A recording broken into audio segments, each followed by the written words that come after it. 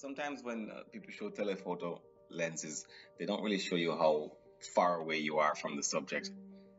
Uh, you can look with the lenses. All right, so I went to the park the other day, and uh, this is how far away I was from some swan. This is about 672 feet or 205 meters, which is uh, pretty far, right? You can compare that to the length of a football field. And this is my vantage point. I was standing about here, looking all the way over here at some swan. And I'll show you what it looks like in a second with the picture and video. This first clip is with the autofocus. I think it looks pretty good. The camera maintained the colors.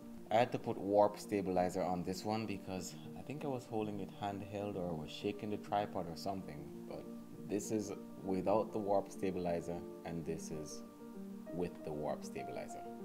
This next clip is the same footage but I've made the video larger. So it's still zoomed in to 600 and this is the video larger. And I still think it looks pretty good.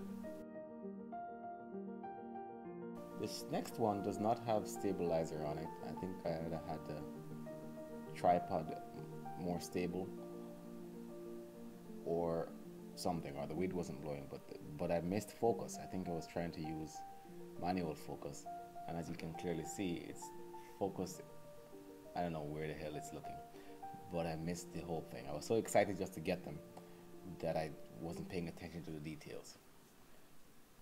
By the way, did you notice the turtle just hanging out in the middle? I think there might be even two of them. Let me zoom in a little bit.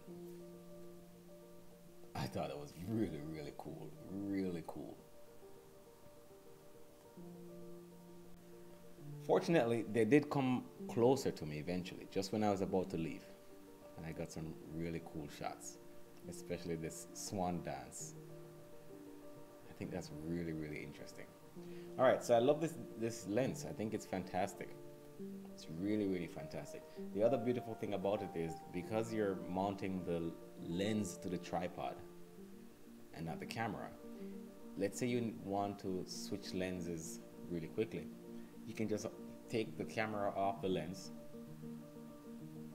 tuck on another lens, and uh, you can take a different composition. Alright, thanks for watching. The full length video of my swan coverage will be on my other channel, link in the description.